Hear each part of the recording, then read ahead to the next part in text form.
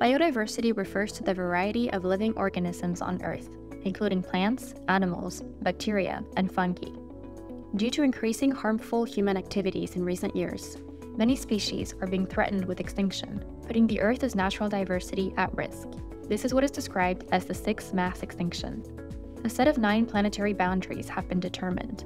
We have already gone beyond the safe operating spaces of six out of the nine boundaries. The Living Planet Index, which tracks populations of mammals, birds, fish, reptiles, and amphibians, reveals an average 69% decrease in monitored wildlife populations since 1970. Biodiversity loss will and has already started to have a significant impact on humanity, causing food insecurity and malnutrition, poor human health, reduced access to fresh water, and compromised medical supplies. Indirectly, changes in ecosystem services due to biodiversity loss can affect livelihoods, income, local migration, and exacerbate political conflict. To be able to fight biodiversity loss, we need to be able to measure it accurately.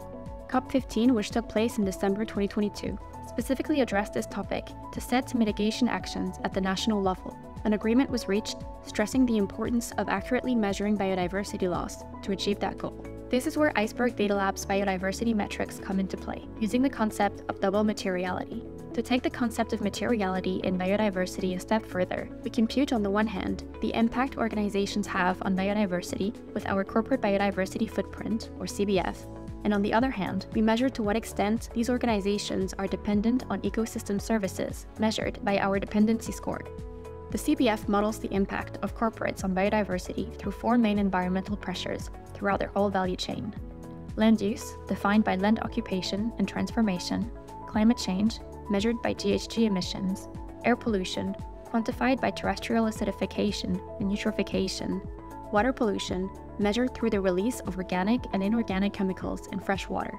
The CBF is expressed in negative square kilometer MSA. The MSA, or mean species abundance, is a measurement of the average abundance of native species in a delimited space relative to an undisturbed ecosystem. It ranges between 0 and 100%. An MSA equal to 100% is attributed to undisturbed ecosystems, such as the Amazon rainforest. When this ecosystem is disturbed due to harmful human activity, the MSA decreases to reach 0% for a completely degraded space, such as a fully cemented parking lot.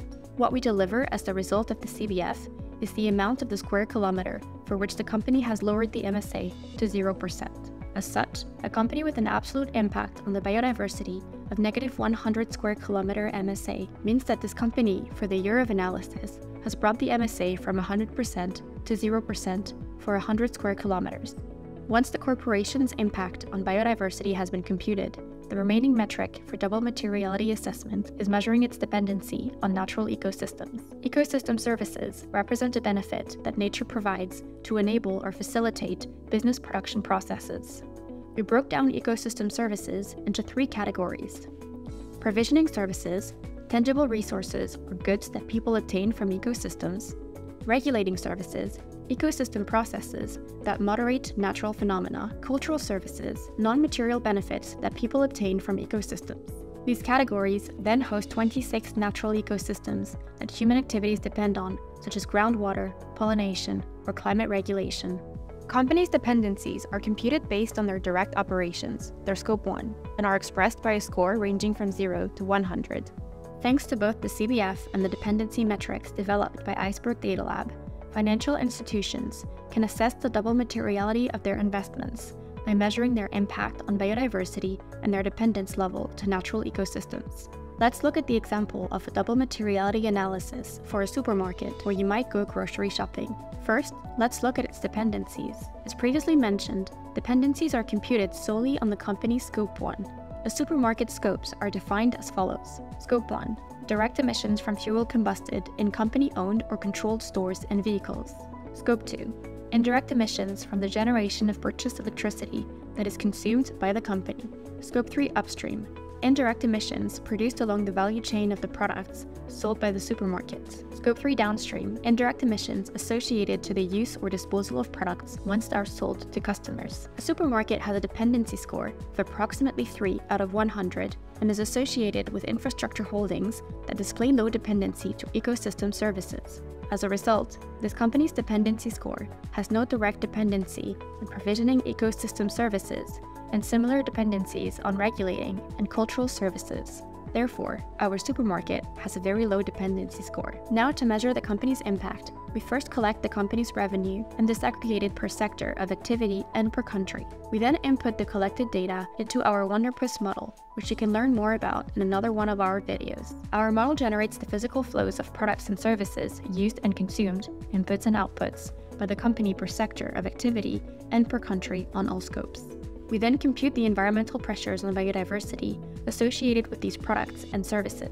Their aggregation is what gives us the final biodiversity impact. The supermarket's biodiversity impact equals to negative 18,000 square kilometer MSA in 2022, which means that to operate and throughout its whole value chain, the company has brought the surface's MSA to 0% for negative 18,000 square kilometers. When analyzing further the company's impact, we can see that over 90% of it comes from the land use in its Scope 3 upstream, meaning its impact is mainly determined by the products it sells. As the food sector is one of the most material for biodiversity, all supermarkets carrying food products have a significant impact on biodiversity. Among foods, meat is one of the items that are both most sold and most impactful, so we can use it as a case study to trace its value chain and see how it contributes to supermarkets' impact. The impact of the chicken sold by our supermarket is cumulative of the impact of its whole supply chain, from the raising of the live animal to the manufacture of the meat product. A company that manufactures chicken products and sells them to supermarkets has a CBF of about negative 800 square kilometers MSA. A company that specializes in the raising of chicken for slaughter has a CBF of negative 100 square kilometer MSA. The supermarket CBF takes into account the whole supply chain of all the products it sells. The same steps of chicken's supply chain are applied to every sold product, because the supply chains are interconnected. As the supermarket is at the end of this sector's value chain, it will account for the food's value chain impact in its Scope 3 upstream, resulting in a high CBF. When looking at the double materiality analysis of this food supermarket, we can conclude that while it is not significantly directly dependent on biodiversity, its overall impact on biodiversity is high. As we have seen today, measuring the company's impact on biodiversity and dependency together is relevant and both metrics answer different questions. Thanks to the CBF and our dependency scores, financial institutions are sure to have all the tools to drive their investments towards the most sustainable issuers.